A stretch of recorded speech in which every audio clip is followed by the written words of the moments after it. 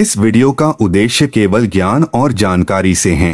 अगर आप इसका साधना करना चाहते हैं तो किसी सिद्ध पुरुष के देख रेख में करें, अन्यथा इसका उत्तरदायी आप स्वयं होंगे। कर्ण पिशाचनी नाम सुनकर बहुत खुश हो जाते हैं कि इसकी सिद्धि से आप किसी के भी बारे में जान सकते हैं। सत्य भी है, यह आपको किसी भी व्यक्ति का भूत वर्तमान बताने में सक्षम है।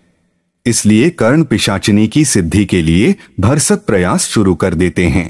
परंतु एक बात भूल जाते हैं कि हर इतर योनि की एक मर्यादा होती है।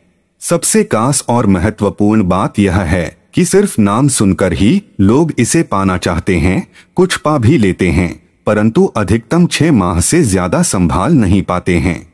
उसका कारण है अधूरा ज्ञान। सबसे ज़रूरी बात आप लोगों को बता दूँ कि कर्ण पिशाचिनी की सिद्धि आम आदमी के लिए नहीं है।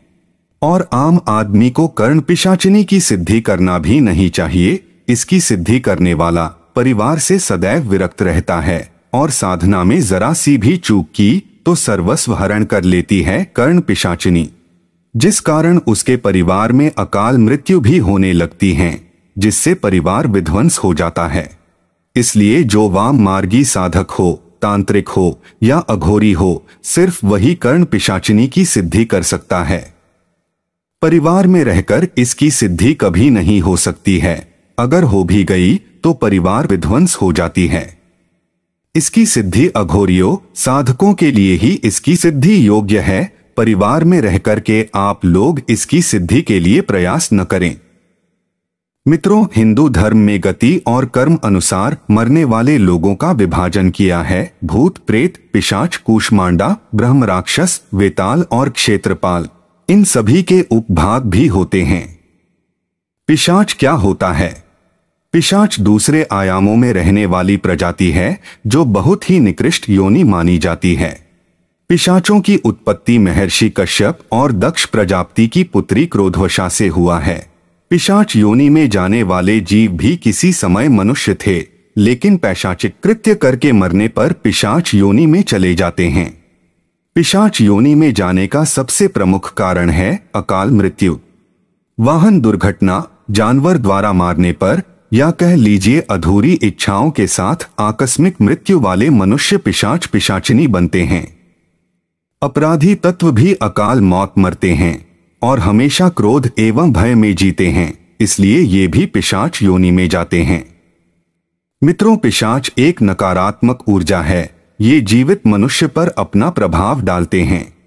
जिस पर पिशाच सवारी करता है, वह व्यक्ति अकेला रहना पसंद करता है, हमेशा भूखा महसूस करता है, गंदगी पसंद करता है धीरे धीरे पिशाच व्यक्ति को रोगी और पागल बना देता है।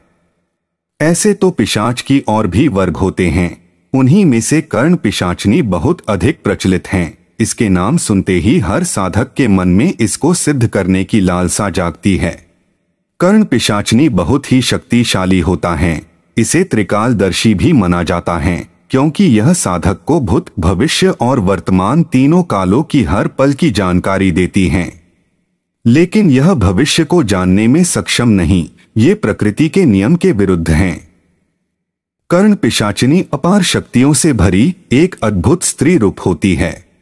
व्यक्तिगत, पारिवारिक समस्याओं से मुक्ति पाने के लिए और वशीकरण एवं सम्मोहन करने के लिए इस पिशाचनी की साधना की जाती है।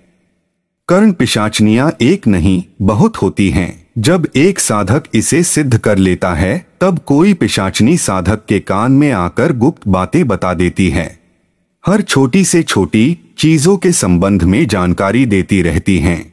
अगर कोई साधक इसको सिद्ध कर लिया है और कोई अनजान व्यक्ति के सामने जाता है तो कर्ण पिशाचनी मिनटों में उसकी सारी जानकारी साधक के कान में बता देती हैं। छोटी से छोटी वस्तु की जानकारी दे देती हैं।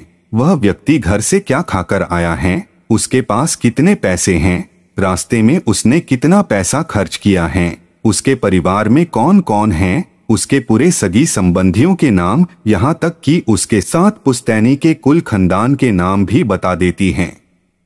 कर्ण पिशाचनी अपने साधक को उसके घर के सभी लोगों की पल पल का खबर देती रहती हैं, जिससे साधक अपने घर वालों से, अपने समाज से घृणा करने लगता है। ये तो आप सभी को पता ही होगा कि ज़्यादातर घर के और समाज के लोग ही लोग ही एक दूसरे के बारे में अच्छा बुरा बातचीत करते रहते हैं, ऐसी स्थिति में साधक के ऊपर एक गहरा प्रभाव पड़ेगा, वह पागल हो सकता है। मित्रों, यह पिशाचन सिद्ध तो जल्दी हो जाती है, लेकिन यह साधक से उम्मीद रखती है कि वह इस प्रेतनी के प्रति पूर्ण समर्पण और घोर आस्था के साथ रहे। यह पिशाचनी मरने के बाद साधक को अपने साथ पिशाच लोक में ले जाती है, इस लोक से इन पिशाच साधकों की मुक्ति महाप्रलय से पहले संभव नहीं है।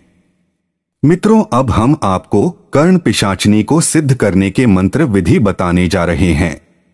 यह ग्यारह दिनों तक चलने वाली कर्ण पिशाचिनी की साधना के लिए रात या दिन को चौघड़िया मुहूर्त के दौरान पीतल या कांसे की थाली में उंगली के द्वारा सिंदूर से त्रिशूल बनाएँ और फिर शुद्ध गाय का घी और तेल के दो दीपक जलाएँ।